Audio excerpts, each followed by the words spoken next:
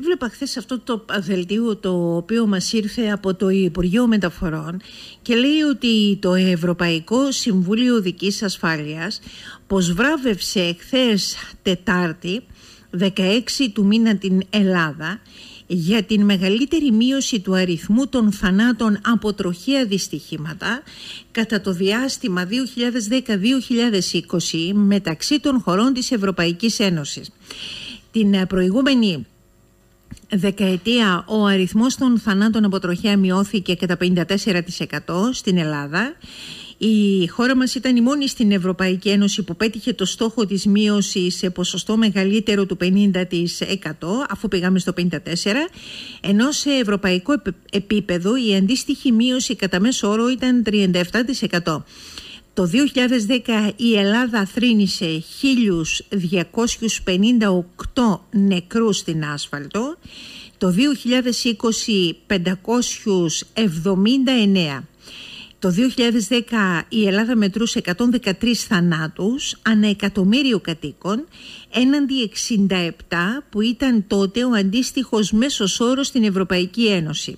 Το 2020 παρά την θεαματική βελτίωση σε επίπεδο ποσοστών η Ελλάδα μέτρησε 54 θανάτους ανά εκατομμύριο έναντι 42 θανάτων ανά εκατομμύριο που είναι ο μέσος όρος στην Ευρωπαϊκή Ένωση.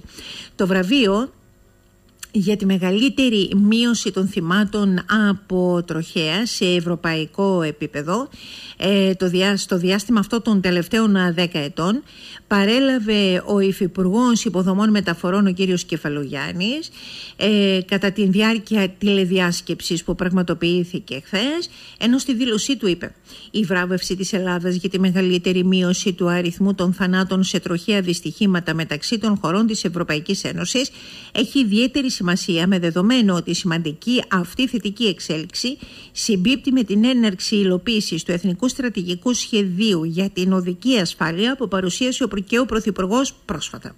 Συνεπώς, δεν στεκόμαστε στη βελτίωση των δικτών μέχρι σήμερα, αλλά επικεντρώνουμε τις προσπάθειές μας στην υλοποίηση μιας συνεκτικής πολιτικής με πολιετέ πλάνο που θα βελτιώνει κάθε χρόνο το επίπεδο της οδικής ασφάλειας στην πατρίδα μας. Δημιουργούμε καλής ποιότητας δεδομένα, αποτελεσματικό σύστημα διοίκησης και εφαρμογής των κανόνων κυκλοφορίας, ασφαλές οδικό δίκτυο και δίνουμε έμφαση στην εκπαίδευση και την ενημέρωση. Επόμενος στόχος είναι η περαιτέρω μείωση των θανατηφόρων τροχαίων κατά 50% την επόμενη δεκαετία έως το 2020. 54 που είχαμε τη δεκαετία που πέρασε και 50 την δεκαετία που μας έρχεται μέχρι το 30, δηλαδή τροχιά στο 4%. Απότερος στόχος είναι το ευρωπαϊκό πρόγραμμα για μηδενικούς θανάτους από τροχέα το 2050 μπορεί να μοιάζει ουτοπικός, αλλά όσο εργαζόμαστε με προσήλωση για να τον πετύχουμε, είναι δεδομένο ότι θα μειώνονται τα ατυχήματα. Τώρα, κύριε Αλεξάνδρε ε, Μεϊμαράκη, είτε πρόεδρος του Συλλόγου ήσασταν, αλλά συνεχίζετε δάσκαλος πάντα να είστε και εκπαιδευτής υποψηφίων οδηγών. Καταλαβαίνετε ότι το μυαλό φαγουρίζει, καταλαβαίνετε φαντάζομαι ότι η γλώσσα καίει να πει πράγματα, αλλά τη βουτάω πρώτα στο μυαλό για να μην πω. Παρακαλώ να ακούσω τα σχόλια από εσά για αυτά τα οποία εμείς μάθαμε χθες μέσα από ένα δελτίο τύπου στο Υπουργείο Μεταφορών και βέβαια αυτή τη βράβευση που καλά κάνανε και μας βραβεύσανε ως αν είναι έτσι τα πράγματα. Για να σας ακούσω, γιατί δεν τα λέτε όλα αυτά εσείς από τη δική σας την πλευρά, αλλά μιλάτε μόνο για τροχιά και μιλάω και εγώ για τροχιά καθημερινά; Καλημέρα κυρία Σγκεράκη σε εσάς και σε όλους τους ε, φίλους που μας ακούνε. Όντως και εγώ με πολύ έτσι, ιδιαίτερο ενδιαφέρον θα μπορούσα να πω. Διάβασα το δημοσίευμα αυτό. Αν και δεν συμφωνώ στο ακριβώς έτσι όπως είναι και μην ξεχνάτε ότι είχαμε μια παρατετημένη περίοδο που ήμασταν όλοι κλεισμένοι μέσα στα σπίτια μας. Άρα οι μεταφορές μειώθηκαν κατά πάρα, πάρα, πάρα πολύ. Οπότε ήταν λογικό να έχουμε αυτή τη μείωση και ας μην ξεχνάμε και όσοι μας ακούνε να καταλάβουν ότι. Πήρανε Ελλάδα... δηλαδή στοιχεία του. Κάτσε, κάτσε κύριε Μημαράκη. Πήρανε δηλαδή. Συγγνώμη, μίλησα στον Ενικό. Πήρανε δηλαδή κύριε Μημαράκη στοιχεία του 2020 που είμαστε κλεισμένοι όλοι μέσα. Έχουν να κάνουν με τις ε, μεταφορές και αυτά τα στοιχεία του 20, 2020 που ήμασταν κλεισμένοι μέσα τα παρουσιάζουν ως στοιχεία δεκαετίας.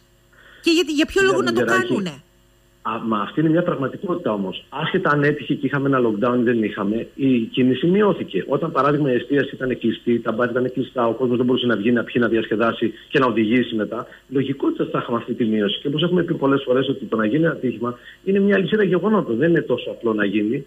Έτσι, έχουν προπάρξει κάποια άλλα πράγματα. Και ας μην ξεχνάμε, πολύ θα σου πω ότι ναι, πήραμε ένα βραβείο τώρα και καλό είναι να αναγνωρίζετε κάθε προσπάθεια που γίνεται. Που στη συγκεκριμένη περίπτωση δεν νομίζω ότι έχει γίνει αυτή η προσπάθεια που θα έπρεπε να γίνει, γιατί είναι ένα πολύ, πραγματικά πολύ διάστατο ζήτημα όλο αυτό και θα πρέπει να ξεκινήσουμε από την εκπαίδευση αυτά τα μικρά παιδιά για να έχουμε αποτελέσματα. Αυτά δεν μπορεί να τα έχεις ούτε σε ένα ούτε σε δύο χρόνια. Για τον Γεράκη, κακά τα ψέματα. Για να πεις ότι εγώ θα έχω μείωση στα τροχαία ατυχήματα, δυστυχήματα, θα πρέπει να επενδύσω στον παράγοντα άνθρωπο από μικρή ηλικία. Όσο λοιπόν δεν το κάνω, αυτός ο αριθμός θα μένει εκεί σταθερό, θα αυξάνεται, θα μειώνεται, συν πλην θα αλλάζει. Και μην ξεχνάμε ότι είμαστε οι 20, έχουμε την 20η θέση από τις 27. Δεν είναι ότι είμαστε και χαμηλά-χαμηλά για να πανηγυρίσουμε. Έτσι, από τις 27 είμαστε στην 20η θέση.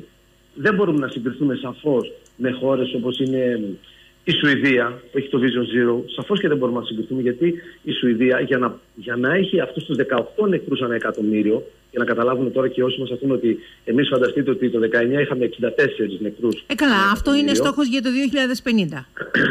ναι, το 2050 όπως ποιος ποιος πεθαίνει. Δεν είναι όμως έτσι. Θα πρέπει να δούμε λοιπόν πράγματα που πρέπει να γίνουν άμεσα. Να, να πω λίγο το σκεπτικό μου όσον αφορά με τη Σουηδία, παράδειγμα, που είναι η νούμερο ένα χώρα σε, ε, στη μείωση και στα ελάχιστα ατυχήματα που μπορεί να έχει και όλα αυτά πώς έχουν επιτευχθεί. Σίγουρα έχουν επιτευχθεί εδώ και πολλά πολλά πολλά χρόνια. Έχουν γίνει πολλά πράγματα για να φτάσει να λέει η Σουηδία ότι εγώ τώρα εν έτη 2019, παράδειγμα, πούμε τα 19 του στοιχεία, ότι έχω 18 ας πούμε νεκρούς ανά εκατομμύριο. Ενώ εσείς Ελλάδα είχατε ας πούμε 64 και τώρα το 20 μειώθηκε σε 54. Δηλαδή 10 νεκρούς είχαμε λιγότερους το 2020. Ναι, αλλά για δείτε όμως τι συνέβη το 2020. Δεν ήταν το ίδιο δεδομένο όπως θα ήταν το 19 ή το 18. Σαφώς και δεν είναι τα ίδια δεδομένα. Αλλάξαν το 20. Αυτά θα πρέπει να τα δούμε λοιπόν σε μετέπειτα χρόνια. Αλλά αυτό που θέλω να πω και να καταλάβουμε όλοι, ότι αν δεν βάλουμε λίγο νερό στο κρασί μας και αν δεν αλλάξουμε λίγο τη συμπεριφορά μας και η πολιτεία από τη στιγμή που πρέπει να κάνει πράγματα, οφείλει και έχει υποχρέωση απέναντι στους πολίτες να κάνει, αυτά τα νούμερα θα είναι πάντα συμπλήν πάνω κάτω τα ίδια. Και δεν είναι απλά νούμερα. Είπαμε πίσω από κάθε νεκρό κρύβεται πόνος. Και δεν είναι μόνο νεκρός, μπορεί να μείνει παραπληγικός. Μπορεί να έχουμε αναπηρίε. Έχουμε πάρα πολλά πράγματα σε ένα τροχαίο ατύχημα ή δυστύχημα. Δεν είναι τόσο απλό δηλαδή. Από τη στιγμή που έχουμε αυτή τη βράβευση που μειώθηκαν τόσο πολύ τα νούμερα αυτά έτσι όπως τουλάχιστον τα λέει και μας τα παρουσιάζει η Ευρωπαϊκή Ένωση και ο κύριος Κεφαλογιάννης πάντως φαίνεται να είμαστε σε μια καλή πορεία. Κυρία Δουλεάκη, καλή πορεία θα το δείξει όταν θα σταματήσει εντελώς το lockdown, θα μείνουν όλα ελεύθερα όπως είχαμε μάθει και όπως ζούσαμε πριν. Και εκεί λοιπόν θα το δούμε. Και να ρωτήσω κάτι άλλο. Πώς θα έχουμε καλή πορεία αν δεν κάνουμε αλλαγές; Δηλαδή, ποια είναι η διαφορά του πέρσι με του φέτος, εξαιρώ το lockdown, ας πούμε ότι δεν υπάρχει, αν δεν έχω κάνει κάποια έργα υποδομών, αν δεν έχω επενδύσει στην εκπαίδευση, αν δεν έχω επενδύσει στην ασφάλεια, αν δεν έχω επενδύσει στους τάπητε στους δρόμους, στο φωτισμό, στις διαγραμμίσεις. Μου λέτε δηλαδή ότι όλα αυτά είναι τελείως ασαφή ή δεν έχουν σχέση με την πραγματικότητα, κύριε Μεϊμαράκη; Δεν είναι ότι δεν έχουν σχέση. Είναι λογικό ότι σε μια μεγάλη παραταμένη περίοδο lockdown που ο κόσμος ήταν μέσα, είχαμε αυτά τα δεδομένα. Είναι λογικό ότι θα τα είχαμε. Έτσι, ή δεν ήταν λογικό αφού δεν κινιόταν ο κόσμος. Η κίνηση ήταν μειωμένη. Η εστίαση κλειστή. Δεν είχαμε με μέση, είχαμε πολύ λιγότερα περιστατικά από ό,τι είχαμε πούμε, την προηγούμενη χρονιά ή την προπροηγούμενη. Ήταν λογικό να συμβεί αυτό. Οπότε, εγώ, αν θέλετε να είμαστε αντικειμενικοί και ειλικρινείς, να το ξαναδούμε αυτό, όταν θα τελειώσει όλο αυτό, θα υπάρξει πραγματικά μια κανονικότητα για να δούμε τελικά. Έχουμε μείωση, ναι. Αν έχουμε, τι έφτιαξε που έχουμε μείωση, είναι αυτά που κάναμε, είναι αυτά που δεν κάναμε, είναι αυτά που έγιναν; Γιατί μόνο τότε, κύριε Αντριγιάκη, θα μπορούσαμε να βάλουμε μια πραγματική εικόνα για το τι συμβαίνει. Και όπως είπα και συνεχίζω να το λέω γιατί είμαι κάθε μέρα με υποψήφιους οδηγούς, η νοοτροπία μας ευτυχώς για μας, ευτυχώς έχει αλλάξει και αλλάζει καθημερινά από τα νέα παιδιά αυτά. Ευτυχώς για μας. Αλλά είναι κάτι το οποίο δεν είναι κάτι άμεσο που το βλέπω αύριο. Θέλει δουλειά. Και πρέπει να επενδύσουμε σε αυτό. Θα το λέω συνέχεια, ασκουράζω, αλλά δεν θα δούμε αποτελέσματα. Τουλάχιστον αυτά τα αποτελέσματα που θέλουμε. Δεν μπορούμε να γίνουμε Σουηδία από τον ένα χρόνο στον άλλο. Εννοείται πως δεν μπορούμε να γίνουμε Σουηδία, αλλά μπορούμε όμως και εμείς να έχουμε το δικό μας Vision Zero, ας πούμε. Το δικό μας όραμα για μηδενικά ατυχήματα. Αλλά πρέπει να δουλέψουμε γι' αυτό, κυρία Βουλγεράκη. Αν δεν δουλέψουμε όλοι. Ούτως ή άλλως το σχέδιο αυτό είναι, ή το όραμα αυτό είναι με μακροπρόθεσμο. Πάμε μέσα στην επόμενη δεκαετία, πάμε δηλαδή στο 2030. Μας παραπέμπει ο Υφυπουργός Μεταφορών και στο 2050 για να έχουμε αυτό το όραμα, να το έχουμε πραγματοποιήσει ούτως ή άλλως. Οπότε γιατί όχι; Μέσα από αυτές τις συνθήκες και με την προσπάθεια που γίνεται, που γίνεται από όλους τελικά και κυρίως από τους νέους ανθρώπους όπως είπατε.